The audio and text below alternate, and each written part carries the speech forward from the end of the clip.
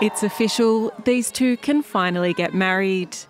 The Thai king signed same sex marriage into law on Tuesday, making Thailand the first country in Southeast Asia to recognise marriage equality. Queer couples will have to wait 120 days for the law to come into effect, but from January they will be able to walk down the aisle. And judging by this rainbow display from this year's Pride March, they are sure to be colourful events.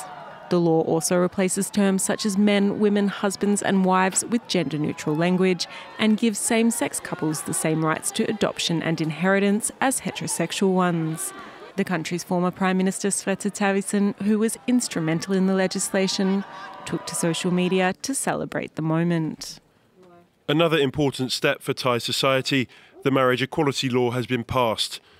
Equality is tangible in Thai society gender diversity will finally be fully accepted. Congratulations.